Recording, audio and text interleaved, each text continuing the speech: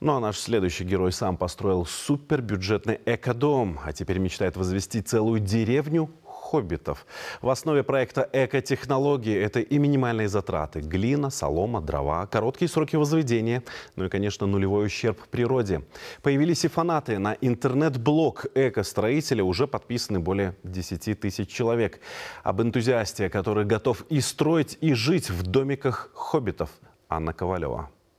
Вот моя веранда, где вечерами на закате, получается, там у нас запад. И здесь часто сижу, пью чай, наблюдаю за закатом. Евгений Раевский встречает у порога. Его дом приземистый, безугловый, с круглыми окошками. На обычную деревенскую избу не похож. С виду скорее домик хоббита. Возвел его своими руками по экотехнологиям. Эти стены толщиной почти полметра, а внутри них глина, песок и солома.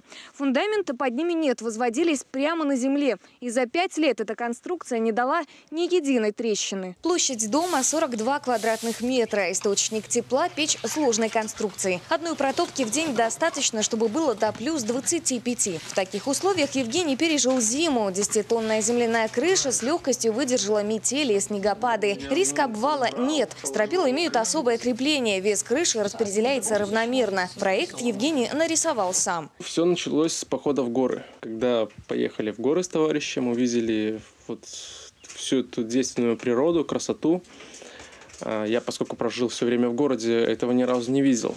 Но первый раз увидел, можно сказать, небо без засветки городской. Когда я увидел такие дома, такое строительство и вот природу такую действенную, я сказал все внутренности, что я это хочу. Началось все 8 лет назад. Воплотить идею помогло строительное образование. Хотя многие экотехнологии осваивал уже самостоятельно. Место прописки дома Хоббита почти за 400 километров от столицы в Лелическом районе. Мобильная связь здесь не ловит. В деревне живет 6 человек, в основном старики. Молодому соседу соседу здесь рады. Всегда есть кому обратиться за помощью. Соседи хорошие. Хорошие. И нам веселей. Да, и- И что, что нам надо, он Да. поможет. Так. Ну, же, мы же тут одни живем. Да. Детей нема.